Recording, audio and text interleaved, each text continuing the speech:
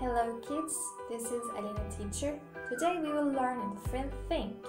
Okay, in our pre previous video, we learned the vehicles.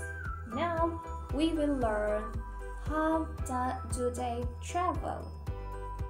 By land, by air or by sea? Okay, let's start. We have three words. One of them is air, the other one is land and the last one is sea.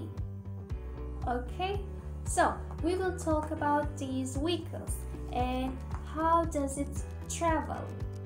Okay let's start. The first one is train right? Let's go by train. And how does it travel by air? No.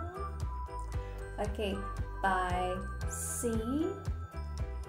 No. By land?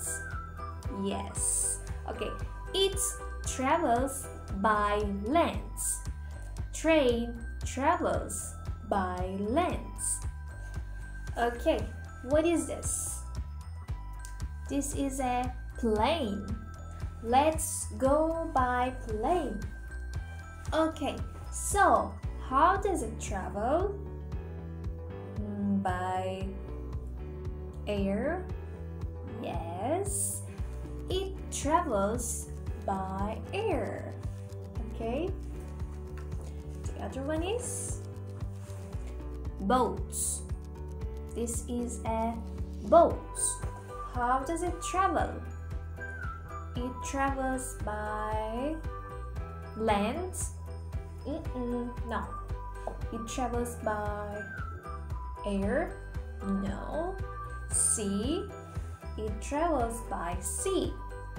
Yes, it travels by sea. What is this? This is a taxi. Okay, how does it travel? It travels by land. Yes, great job. The other one is this is a car. A car. How does it travel? By land. It travels by land. And the last one, this is a bus. Okay, hmm, how does it travel? It travels by air? No.